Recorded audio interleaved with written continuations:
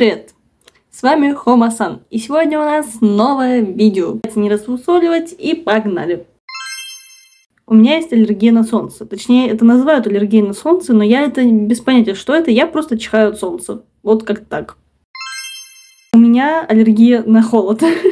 Как бы это странно ни звучало, да, вот такой вот есть человек. Перемораживаюсь, то у меня появляются пятна, и, в принципе, они очень долго сходят и могут разрастаться по телу именно из-за того, что я перемерзла.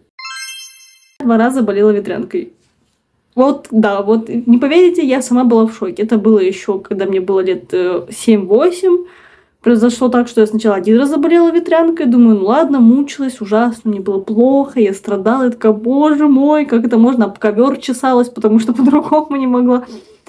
Э, потом проходит время, вроде все, я вылечиваюсь, все хорошо, все классно. И одним утром замечаю у себя на ноге такие же пятна и такие пупырышки, как э, первый раз. Не понимаю, думаю, ну это же невозможно, потому что нам всю жизнь говорят, что, что ветрянкой два раза люди не болеют. И я также в этом уверена была. Думаю, да нет, наверное, бред какой-то. Прихожу к матери, она говорит, ну да, это ветрянка, вызывают скорую. Приезжают врачи, говорят, да, вы второй раз заболели ветрянкой. Я говорю, как? Ну это же, ну это просто невозможно. Он говорит, ну вообще, как бы это возможно? Просто очень маленький процент того, что это произойдет. Я говорю, ну с чем это может быть связано? Говорит, у вас, значит, очень слабый иммунитет. Я такая, а, понятно, классно. И так я заболела второй раз ветрянкой. И когда я вернулась в школу после всего этого, никто не хотел в это верить и очень удивлялся, когда я показывала свои как раз-таки еще подживающие э, ранки и говорила, да, так произошло, я заболела два раза. Я всегда заворачиваю чайный пакетик. Вот как здесь вы можете посмотреть.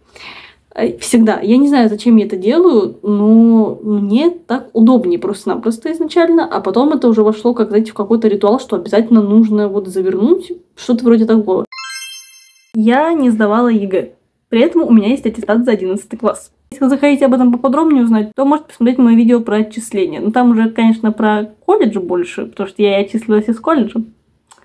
Да, гордость родителей. Я переворачиваю спички. Всегда. Всегда переворачиваю спички. Если ко мне попадает в руки коробок, я как на нем рисунок, открываю спички, достаю и смотрю, чтобы они ровно лежали. Потому что если он перевернут или еще как-то, я их всегда переверну. Даже, возможно, если там хоть одна спичечка не лежит неровно, я ее переложу и, за, и закрою. Не знаю, с чем это связано, но вот такое вот, ну, вот такое вот действие я всегда провожу. Меня просто очень сильно раздражает, когда спички лежат неровно. Еще один факт. Я разговариваю сама с собой. Почти постоянно, вообще очень довольно часто. Что сначала пугало моих родных, когда я жила с бабушкой и дедушкой, и они просто либо отшучивались, либо спрашивали, все ли в порядке. Потом начал напрягать много Александра Александровича, когда мы стали жить вместе, но люди быстро к этому привыкают. А я не знаю, мне так удобнее, мне проще. Я могу даже представить перед собой человека, с которым я разговариваю, и вести диалог, беседу. Возможно, это связано как-то с моими тараканами в голове, но я стараюсь на это не заострять внимание и просто это считать еще одним странным фактом обо мне. Вот и все. Еще один факт. Я раньше умела ездить на велосипеде. И знаете фразу, что если человек научился ездить один раз на велосипеде, то он никогда не разучится. Это все ложь. После сотрясения мозга я разучилась ездить на велосипеде. Вообще. Меня пытались обучать многие. Очень много. Каждый раз я слышала одно и то же. Я научу, я точно тебя научу, я знаю, как это делать. Это все очень легко, доверься мне. И каждый раз я падала, потому что нет, я не могу научиться ездить на велосипеде. Все, из-за сотрясения я, к сожалению, больше на это не способна. Когда я нервничаю, я пою песни. Чаще всего, конечно, это больше похоже на вой собаки подзаборной, либо на крик, потому что мне так проще, я так выпускаю весь свой пар и злость. При этом я могу ходить просто туда-сюда и кричать песни. Это странно, пугает иногда, особенно людей, которые первый раз с этим сталкиваются, но потом тоже опять-таки быстро к этому привыкают. Не знаю, считается ли это за факт, я просто пыталась вспомнить все, что меня удивляет в себе, и все, что удивляет людей во мне. Поэтому я вспомнила такой вот факт из своей жизни о том, что я в детстве играла с гадюкой. Это было очень странно, потому что мне было лет семь, я была на даче у бабушки с дедушкой, они там тоже тусовались. Ну, как тусовались? Они-то работали. Я просто ходила, все доставала.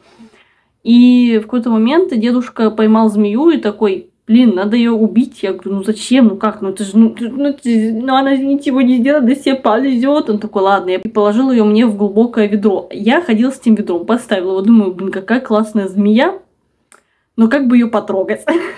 Я насыпала ей туда песочка аккуратненько, поставила водички, налила, и она, когда, каждый раз, когда она зарывалась туда головой, я ее опускала руку и гладила. И знаете, что меня больше всего смешит в этой истории? Это то, что моя бабуля, когда проходила меня и увидела, что я глажу змею, гадюку, я напомню, сказала мне только одно. Учти, скоро сюда будет ехать очень долго, и, возможно, она не успеет. Я такая, ладно, я запомнила. И вот так вот я немножечко погладила змею, я ее не мучила, ничего, я ничего не давала есть или что-то такое, там, не тыкала палкой, ничего. Просто, когда она зарывалась в землю, я аккуратно опускала руку и гладила. Она такая гладненькая, вы не представляете. И потом я ее просто выпустила обратно на волю, подальше от дачи, и она спокойно себе поползла. Причем это было так романтично, знаете. Я ее выпускаю, она оборачивается на меня, смотрит меня долго, чуть-чуть проползает ко мне, я смотрю на нее, страсть, буря, безумие, и она такая, типа, и уползает. Я такая, боже мой, я повелитель животных. У меня до сих пор вопросы к своим родным. Они, наверное, чувствовали, что я стану блогером.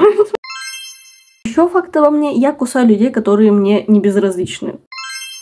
Я могу уснуть в любой момент времени. Я не знаю, с чем это связано, возможно, с моими сосудами или еще с чем-то, но правда, я могу уснуть даже на ходу. Такое не раз бывало, и спасал меня благо Александр Александрович, который меня ловил вовремя, потому что я правда могу просто идти и внезапно уснуть. Хоть я и блогер, и довольно молодая и красивая, но в плане того, что я разбираюсь, как бы должна разбираться в технологиях, я безумно боюсь новых технологий. И я безумно боюсь банкоматов, в которых нужно ложить деньги для меня это прям тяжело. Вот, знаете, которые открываются, и ты такой денежку так кладешь, денежку оттуда. Ну, то есть для меня это прям очень тяжело. Я очень их боюсь. Я правда себя ощущаю человеком из каменного века, потому что любые новомодные штуки для меня сначала всегда пугающие, и очень долго такими и остаются. Хотя я, лифт уже давно изобрели, а я до сих пор боюсь и вообще в нем ездить, меня трясет каждый раз. Но и ходить по лестницам я ненавижу.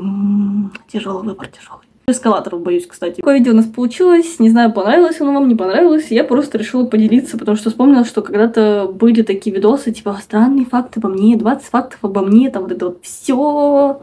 Я на них выросла, поэтому, конечно же, я буду их проецировать. Хотите, поделитесь своими ценностями в комментариях, будет интересно почитать. Подписывайтесь, ставьте лайки, Подписывайтесь на мой телеграм-канал, в котором мы с вами активно общаемся. Подписывайтесь на группу ВК, в которой больше творчества. И подписывайтесь на мой Boosty, в котором я коплю на петличку, чтобы звук был классный. Ну что ж, всем пока-пока. Пока-пока. До скорых встреч.